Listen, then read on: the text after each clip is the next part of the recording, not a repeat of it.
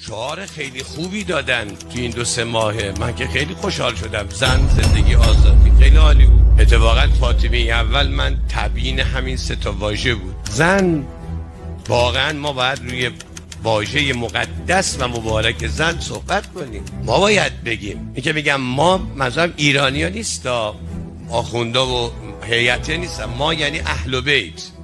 سقلنگ باید بگن زن کیه. من یه پیام دادم بین این مولوی عبدال نمی‌دونم چی چی زاهدانی گفتم تو دیگه نمی‌خواد زن زندگی آزادی رو دم بزنی. شما لطفا دهنتون رو ببند. تو فتاواش تو اینترنت بزنید. کتابای خودش موجوده. گرچه بی سوادم هست. اما حالا تو کتاب ها فتوای خودش داره که زن حق ندارد تحصیل کنه مدرسه بره خوندن و نوشتن یاد بگیره مگر که فقط پدرش یادش بده. وقتی هرچه آدمی میاد علم زن زندگی آزادی رو علم می‌کنه.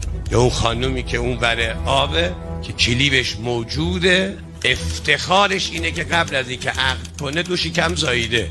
افتخارش اینه که من هرزه هستم. این بیاد برای زن حرف بزنه. اونم زنای ما برای دخترای ما برای ملت ایران که مادر پنج شهیدی داریم ما برای ما بگه زن کیه؟ شما لطفا خفه شید شما فعلا برسید به همون هرزگی خودتون و افتخارات خودتون.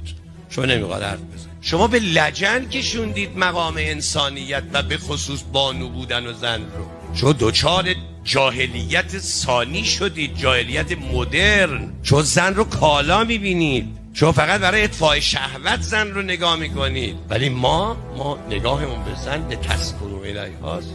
ما نگاهمون به زن اینه که خدا بزرگترین مسئولیت را رو کره زمین به زن عطا کرده که انسان تربیت کند. اون موقعی که دختراشونو زنده به گور می‌کردن عرب تو عمرش ندیده بود یک پدری به دخترش بگه فداها ابوها دست دختر ببوسه در مقابل همسر قیام بکنه. شما برای این مکتب اسلام برای ما شعار می‌دید؟ برای کی شعار می‌دید؟